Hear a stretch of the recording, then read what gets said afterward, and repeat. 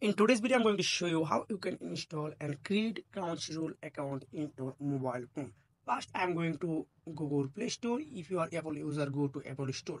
So first go to here, then see our UN Crunchyroll. Just download this app. I agree. Then enter your password. So I click on my password here.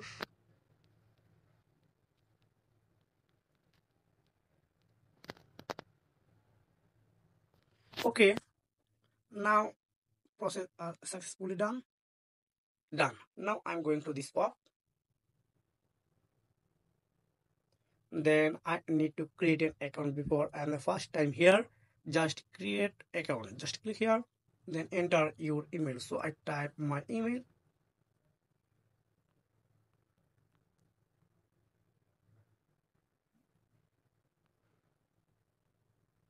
then I need to select a password. So this is my password. Now I need to click this mark then again click on create an account. Just click here. Then you need to few seconds for processing host. Wow. My account are successfully done. Now if I want to click mega plan just subscribe with free plan. Then I want to skip. Skip for now.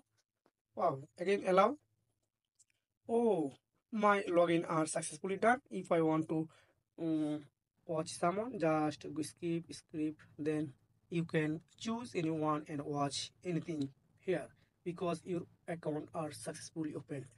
So if you have found this video helpful please like and subscribe this channel. See you again. Take care. Bye